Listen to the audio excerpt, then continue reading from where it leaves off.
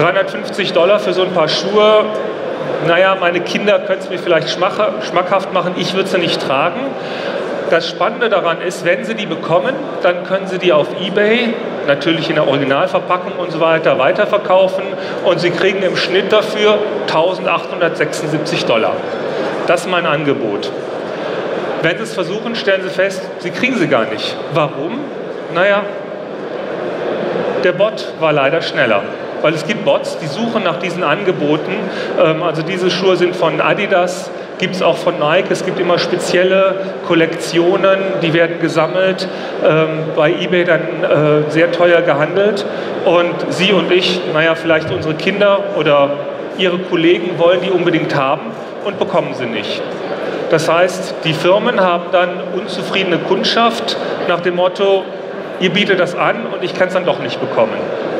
An der Stelle muss man sich dann überlegen, wie kriegt man sowas in den Griff.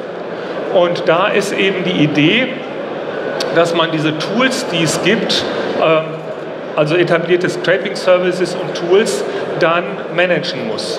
Ähm, Alobot oder der Nike Schuhbot, wie gesagt, es gibt verschiedene ähm, Firmen, die Schuhe zur Verfügung stellen oder dann gerne verkaufen, wo man viel Marge dran machen kann, wenn man sie kriegt. Und äh, es gibt noch viel mehr von diesen Scrapern diese Scraper in den Griff zu kriegen, ist nicht ganz einfach. Vielleicht gucken wir erstmal, was ist es überhaupt? Na, eigentlich, das ist so ein Bot. Das Bild kennen Sie, was steckt da drin? Naja, gucken wir mal rein. Und siehe da, das kennen wir alle. Ganz normaler PC. Da läuft ein automatisiertes Tool, der verbindet sich mit dem Internet. Der Operator guckt nach, was dort passiert. Das heißt, der Bot-Operator programmiert die Bots, die wiederholenden Aufgaben sind eben, guck nach dem Preis, guck, ob so ein Schuh verfügbar ist und sag mir Bescheid. Und der traditionelle Ansatz dazu ist, Sie haben die schlechten Bots und Sie haben die guten Bots. Ja, die schlechten Bots, die blockiert man natürlich und die guten Bots ähm, lässt man durch. Das heißt, man lässt zu, dass die auf die Webseite gucken. Wie lang funktioniert das Ganze? Ungefähr zwei Minuten. Weil wenn Sie den schlechten Bot blockieren, dann sagt der Operator, oh, da ist was schiefgelaufen, äh, da muss ich ein bisschen nacharbeiten. Und wir hatten also wirklich den Fall, dass dann so ein Bot reinkam mit einer ID von, von der Azure-Plattform. Den haben wir blockiert. Zwei Minuten später kam er dann mit äh, einer ID von Amazon.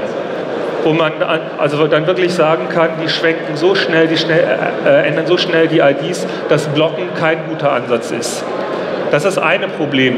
Das andere Problem ist, die Bots werden ja auch angepasst. Das heißt, ähm, oder vielmehr, das hatte ich gerade, Sie wissen ja nicht, ist das wirklich noch der, der schlechte Bot? Kann ich den blockieren? Oder vielleicht wollen Sie den ja haben. Es gibt ja Firmen, die wollen nach China verkaufen und dort eben von Baidu gefunden werden. Oder es gibt tatsächlich Bots mit guten und schlechten Seiten. Sie wollen dort gefunden werden, aber vielleicht nicht ganz so schnell. Und an der Stelle muss man dann einfach differenzieren. Ist das was, was ich haben will, was ich immer haben will, was ich nie haben will oder teilweise haben will? Und da haben wir uns dann überlegt, wir machen mal ein Wunschkonzert. Stellen Sie sich vor, Sie könnten den Traffic ausbremsen. Also dem fixen Bot, der da meine Performance runterbremst von meinem Server. Ich habe schon fünf Server da stehen, die sind immer noch zu langsam. Dass man dem sagt, mach doch mal langsamer. Statt 1000 Requests reinzuschicken pro Sekunde, warte doch mal eine Sekunde oder sieben Sekunden. Das heißt einfach mal runterbremsen. Oder der Konkurrenz, die immer nachguckt, wie ist denn mein Preis gerade? Oh, da gibt es ein Sonderangebot. Sie sind von 39,99 runtergegangen auf 34,99. Das dauert ungefähr zwei Minuten, dann hat die Konkurrenz das Ganze für 34,98. Immer ein Cent runter, wird im Internet gefunden und schon sind ihre Kunden dann wieder woanders. Da haben wir uns dann überlegt, da kann man was machen. Wir gucken erstmal nach, was gibt es. Erstmal identifizieren, klassifizieren, anhand des Business Impact kategorisieren, wollen wir haben, wollen wir nicht haben und dann das Ganze managen, ohne den Operator zu alarmieren. Wenn der Operator nämlich dann feststellt, ah, da passiert was, dann haben sie das Problem wieder von vorne. Drehen sich einmal im Kreis, haben Arbeit investiert und es bringt nichts. Und dann wollen Sie natürlich wissen, was ich gerade am Anfang gefragt habe, wie viel ist es denn? Visualisieren und Reporten des Bot-Traffics. Also vielleicht mal so eine Schätzung, wir liegen noch bei etwa einem Drittel Bot-Traffic. Das heißt, wenn Sie eine Webseite betreiben, können Sie davon ausgehen, zwei Drittel sind natürlich tatsächlich noch Leute wie du und ich, die auf die Webseite draufgehen und ein Drittel ist Traffic, den Sie bezahlen müssen, der aber von irgendwelchen Bots kommt. Ja, was machen wir hier? Webscrapers, also die Jungs mit den Preisen. Die gucken nach, ähm, was kostet das Ganze und haben dann eben einen etwas niedrigeren Preis. Was machen wir an der Stelle? Serve Alternate. Sie machen einfach eine Webseite mit unsere Sachen kosten 39,99, es sei denn, du bist ein Schuhbot, dann kosten sie 49,99. Und für die tatsächlichen Leute, die auf ihre Webseite zugreifen, 34,99. Und schon werden sie feststellen, Business Impact ist tatsächlich null. Die Kunden kommen wirklich zu Ihnen, weil Sie tatsächlich das billigste Angebot haben. Als wir das herausgefunden haben oder entwickelt haben, ähm, kam dann äh, der Kunde an und sagt, wie wäre es denn, wenn wir uns da mal bei den Preisen was einfallen lassen? Wir nehmen Preise, die man hashen kann, also 1, 2, 3, 4, 12,34 Euro. Und dann haben wir mal nachgeguckt, wo taucht denn dieser Preis mit 12,34 Euro auf? Und siehe da, man kann tatsächlich einen Bot einen Konkurrenten zuordnen. Das ist dann ziemlich spannend, wenn man dann weiß, aha, der hat diesen aggressiven Bot und der hat einen, der nur ab und zu mal nachfragt. Also Hintergrund rausfinden ist auch ganz spannend. Content Aggregators, also die, die wirklich ihre Intellectual Property runterziehen und für sich selber verwenden, das, was sie rausgefunden haben, für sich selber ausgeben. Auch hier können wir entweder alternativen Content ausliefern oder wir sagen, wir machen mal langsam.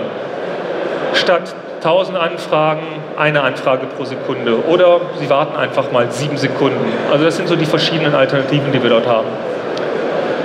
Inventory Grabbers. Auch hier Lost Sales, der Business Impact. Auch hier können wir machen langsam oder alternativen Content. Search Engines, das ist das, ähm, was ich am Anfang erklärt habe. Eben Googlebot oder der Baidu-Bot, den möchte man haben. Man möchte in den Search-Rankings hoch sein, aber vielleicht nicht ganz so schnell. Das heißt, das Ganze auf jeden Fall monitoren, Report drüber machen und wenn es sein muss, dann auch runterbremsen. Third-Party-Services sehen wir sehr viel. Ähm, es gibt Monitoring-Tools, die dann eben reporten, wie ist die Seite verfügbar, wie schnell ändert sich der Content. Das heißt, das sind Partner, die mit Ihnen zusammenarbeiten, aber die nicht unbedingt ihren Business, ihr Business im Griff haben. haben wir immer, sehen wir immer wieder, dass also gerade solche Leute dann einen Bot haben, der eine sehr hohe Abfragefrequenz hat, sehr aggressiv ist und damit ihren Content belastet oder ihren Origin belastet. Sie müssen dann wieder einen Server mehr dazustellen, nur weil ihr Partner, mit dem sie eigentlich zusammenarbeiten, seine Hardware nicht im Griff hat oder seine Software. Und auch hier kann man eben monitoren, Report drüber machen und den ganzen, das Ganze dann abbremsen. Mit Partnern die Go-to-Market-Strategie bestellen, ähm, auch hier je nachdem, was es für ein Partner ist, muss man den mal ein bisschen bremsen oder eben alternativen Content liefern. Das ist so der Überblick, den wir, was wir dort machen können. Zum Schluss vielleicht noch die Web Analytics, dass wir dort den ähm, User verstehen wollen und dann einfach sagen, ähm, wir sagen der Origin Bescheid. Das heißt, Ihr Websurfer hat ja eine Auswertung. Und diese Auswertung sagt Ihnen dann, wer tatsächlich auf diesem, ähm, Ihren Content angefragt hat. Ja, das war so der Überblick, was wir machen können. Ähm, das heißt, erstmal das Problem erkennen. Wir erkennen, wer draufkommt, welche Bots es gibt bei der Gelegenheit. Wir sind inzwischen bei der Kategorisierung von so um die 10.000 verschiedenen Bots. Ähm, wenn Sie ein neues Problem haben oder ein neues Produkt dazu bringen, wenn Sie feststellen, da sind auf einmal wieder 100 Bots mehr. Also die werden sehr schnell variiert, neu dazu. Es kommen sehr viele Bots sehr, äh, neu dazu. Und wir haben eben die Möglichkeit zu erkennen, was ist es für Traffic und eben verschiedene ähm, Möglichkeiten hier zu bieten, wo man darauf reagieren kann und sagen kann, wir wollen das Ganze langsamer machen, wir wollen alternativen Content liefern. Es gibt die Möglichkeit, ähm, die ich bisher unterschlagen hatte, ein sogenanntes Targeting zu machen. Das heißt, die Anfrage kommt rein und Sie machen kein 404, also Seite nicht gefunden, sondern Sie lassen es einfach unter den Tisch fallen. Auch eine Möglichkeit, um Content ähm, zu schützen und nichts auszuliefern. Ja, das war so der Überblick, wie man ähm, Bots in den Griff bekommen kann, was man damit machen kann. Vielleicht an der Stelle noch mal ganz kurz zu Akamai selber. Wer von Ihnen kennt Akamai denn überhaupt? Eins, zwei, oh. Freundeskreis ist das deutlich weniger, muss ich zugeben. Ähm, also hier kommt das schon mal vor, das finde ich gut.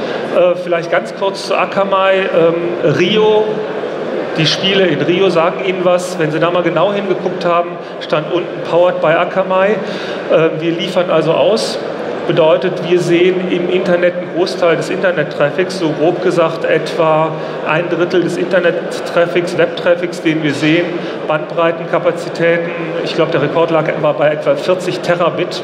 Und aus denen, aus den Informationen, die wir dort einsammeln, können wir eben neue Produkte entwickeln, äh, neue Strategien entwickeln und unseren Kunden mit ähm, neuen Ideen dort weiterhelfen.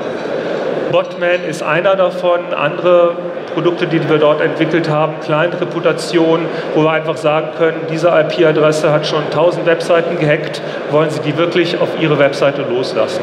Also wie gesagt, das sind so Sachen, die wir auch noch liefern können. Stand 505, kommen Sie gerne vorbei und gucken sich das Ganze an. Vielen Dank. Ja, auch von meiner Seite aus vielen Dank, Herr Mardak. Für uns ist die Messe jetzt zu Ende. Das war die ITSA 2016. Und mehr Informationen zur Messe und zu unseren Beiträgen findet ihr unter itsa16.qso4u.com.